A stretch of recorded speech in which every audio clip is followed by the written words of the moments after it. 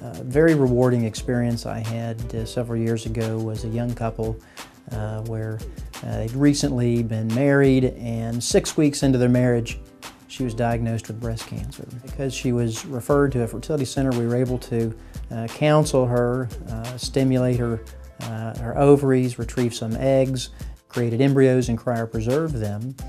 And uh, two years later, they, they were able to take those embryos and place them into a, a, gestational carrier. We only had three embryos to transfer, and we transferred all three, and, and, and she has uh, healthy triplets uh, to, to this day. But that was very rewarding. In addition to being able to freeze eggs, uh, the ability to freeze embryos has been in existence for uh, decades. Uh, but uh, the efficacy of embryo freezing is markedly improved as well. Eggs and sperm and embryos can be cryopreserved indefinitely. Um, there's really no uh, designated limit uh, for this. Uh, generally speaking, uh, there have been pregnancies reported for uh, even over a decade after some of these tissues have been cryopreserved.